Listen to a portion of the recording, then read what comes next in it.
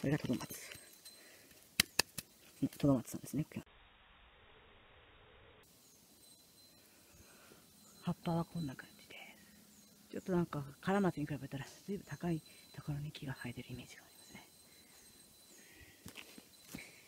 すね。で、カラマツの林になるキノコが、あ、トドマツですね。これか。これです。これ取ってみますか。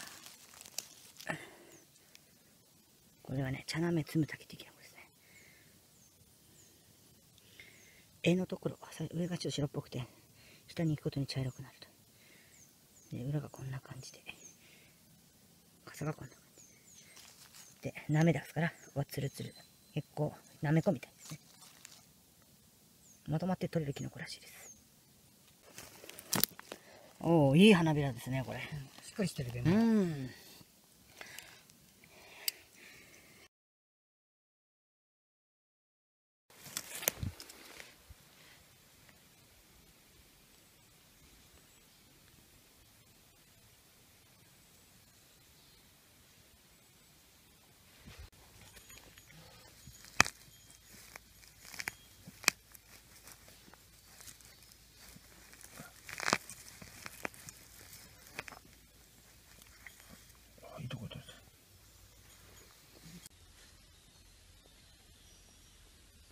おおいいのがあったぜ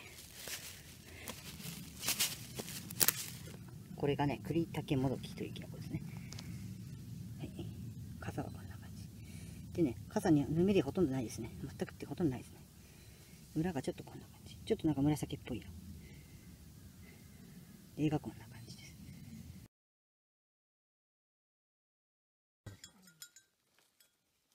ピンクああでも綺麗な俺。見てもらう。綺麗です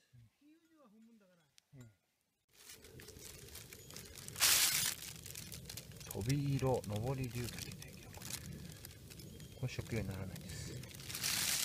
すげえ形してます。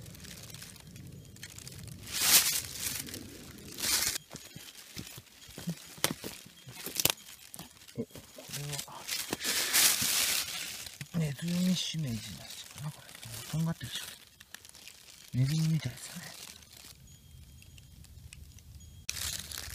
チューチューってなんかこんな感じです意外と軸は硬い。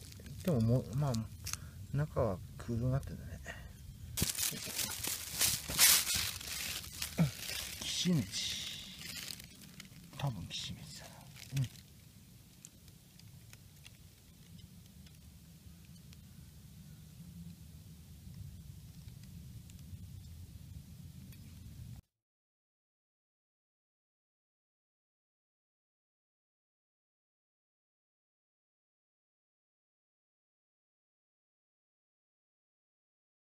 ある本当あんまり頻繁に見るもんじゃないもん。あこれもあるよ。どこあのあそこ。うんとバンケ調べてみますかね。クダアカゲというキノコらしいです。クダアカゲうん。